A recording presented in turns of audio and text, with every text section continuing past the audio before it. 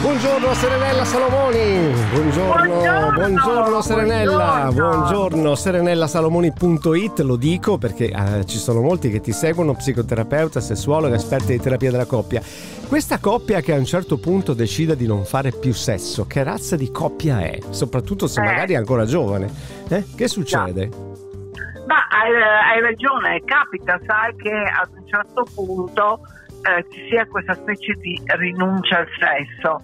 Eh, logicamente ce lo dobbiamo chiedere perché eh, quando succedono queste cose insomma non è detto che poi la coppia possa procedere bene, perché beh, poi beh. ci sono mm. due cose diverse, come hai detto tu, ci potrebbero essere matrimoni bianchi dove c'è la, la, la difficoltà della penetrazione, a me sono capitati, poi dopo sono, è molto carino perché quando hanno risolto il problema mi mandano anche la foto del bambino che nasce, ah. perché di solito questi matrimoni eh, vengono da me quando decidono di fare dei figli, perché naturalmente hanno un sesso dove no, c'è tutto tutto ma non la penetrazione quindi se vuoi avere un bambino lo facciamo sempre nella stessa maniera eh sì, sì ancora bisogna, sì. Eh. bisogna arrivare a quello però devo dire che sono problemi che poi vengono affrontati anche si risolvono quando invece c'è il fatto della rinuncia al sesso perché uno dei due non lo vuole fare più, beh lì è proprio tragico eh perché eh beh, l'altro sì, eh. si sente molto frustrato, mm. quindi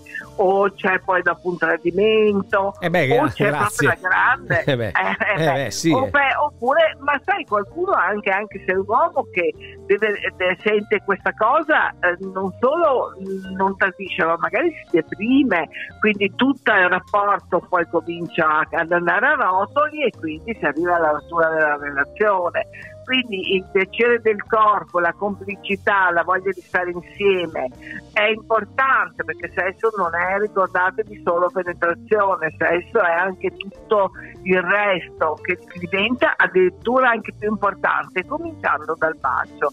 Quindi eh, se non volete fare un sesso completo, si può fare un sesso a metà e che può andare anche bene lo stesso per la coppia. Bene, allora prendiamo appunti e non pensiamo pensiamo di essere immuni a questa cosa perché può capitare a tutti.